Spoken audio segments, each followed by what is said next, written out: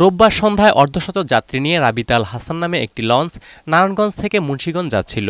শীতলক্ষা নদীর কয়লাঘাট এলাকায় SK three নামে একটি লাইটারের জাহাজ ধাক্কা দিলে ডুবে যায় লঞ্চটি। খবর পেয়ে পুলিশ ও ফায়ার সার্ভিসের ডুবুরি দল ঘটনাস্থলে উদ্ধার কাজ শুরু করে। ঝড়ো হওয়ার কারণে কিছুক্ষণ উদ্ধার কাজ বন্ধ থাকে।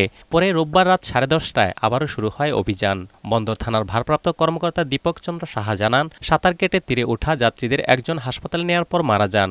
এরপর ঘটনাস্থল থেকে আরও চার নারীর মরদেহ উদ্ধার করা হয়। লঞ্চ ডুবির খবর ছড়িয়ে পড়লে নিখোঁজদের স্বজনরা শীতলক্ষার পারে ভিড় জমায়। তাদের আহাজারিতে ভারী হয়ে ওঠে পরিবেশ। আমি কইছি না লং শুটিং দরকার নেই। তারপরে আসো গেছে আমার পোলা পোলার বউ আমার এক বছর একটু নাতি। সন্ধ্যার পরে ঠিক আছে স্ত্রীর যে মোবাইল ছিল সেটা একজন রিসিভ করছে তারা বলতেছে যে মোবাইলের লোক আমাদের সাথে ছিল ঠিক আছে আমরা সাঁতার কাটে নদীর উপরে উঠছে ঠিক আছে কিন্তু তাদেরকে আর খুঁজে পাইনি। ফায়ার সার্ভিস জানায় নিখোঁজদের সন্ধানে রাত থেকে চলছে উদ্ধার অভিযান। তো আমাদের ডুবুরি এখানে অপারেশন পরিচালনা করছে। এটা রাতের বেলা বলে একটু সময় সাপেক্ষ ব্যাপার।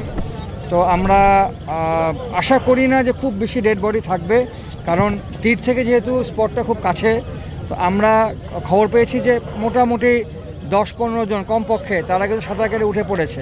এদিকে ঘটনাস্থল পরিদর্শন করে অতিরিক্ত জেলা ম্যাজিস্ট্রেট খাদিজা তাহেরা ববিকে প্রধান করে পাঁচ সদস্যের একটি তদন্ত কমিটি গঠন করেছে জেলা প্রশাসন। আমাদের নৌ পুলিশ কাজ করছে আমাদের ফায়ার সার্ভিস সিভিল ডিফেন্সের ডুবরিরা কাজ করছে।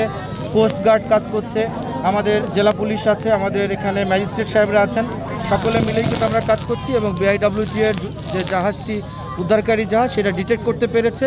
সম্মিলিত প্রচেষ্টার মাধ্যমেই আমরা সবাই মিলে এই কাজটি করছি। নিহতের দাফনের জন্য আর্থিক সহায়তা দেওয়ার ঘোষণাও দেন জেলা প্রশাসক।